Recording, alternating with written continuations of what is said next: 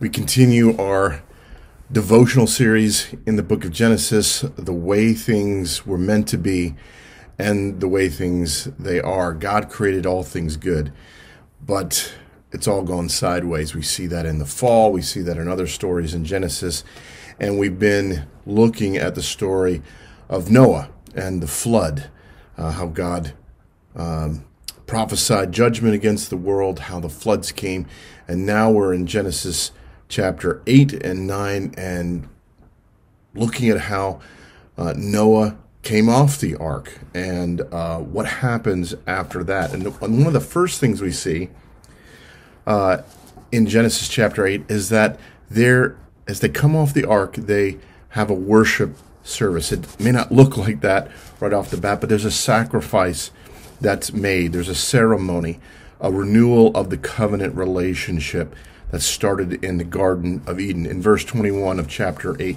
talks about the Lord's reaction to that worship service. And when the Lord smelled the pleasing aroma of the sacrifice, the Lord said in his heart, I will never again curse the ground because of man, neither will I ever again strike down every living creature as I have done. In essence, the Lord is saying to Noah, Noah, I recognize the traumatic experience that all of you have gone through. So receive these promises as reassurance uh, to you and your descendants.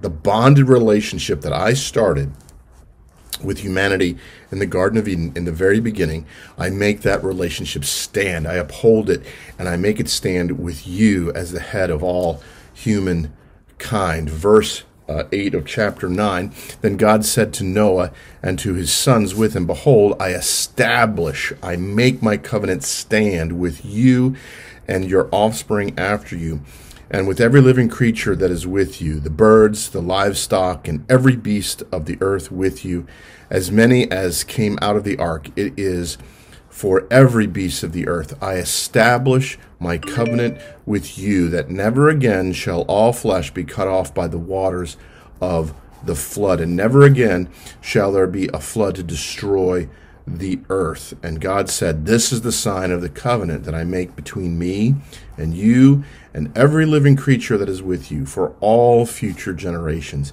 I have set my bow in the cloud, and it shall be a sign of the covenant between me and the earth.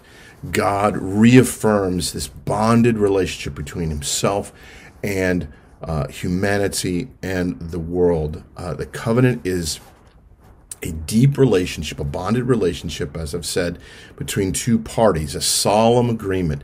There are promises made, uh, blessings bestowed, punishments agreed to, uh, signs and seals that represent the covenant. They're instituted. So, who are the parties of this covenant?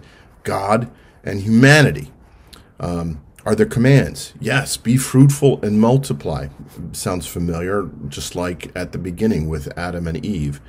Um, but it also emphasizes uh, murder. Do not commit murder. What is the promise? To never destroy the earth again with flood. And what are the signs and seals of this bonded relationship? The rainbow.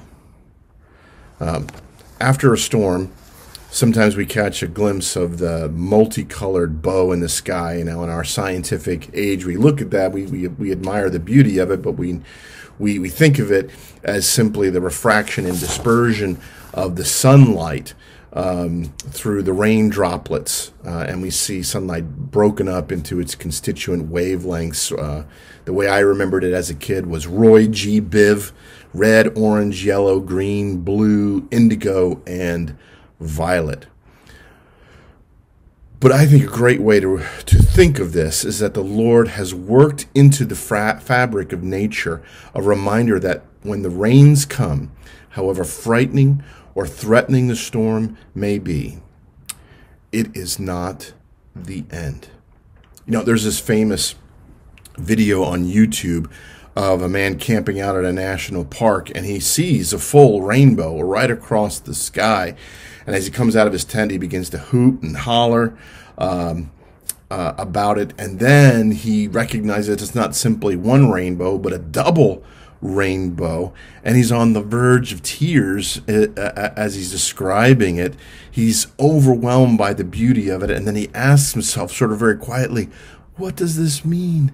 And uh, as you're watching the video, it's a bit over the top, maybe even a little bit silly.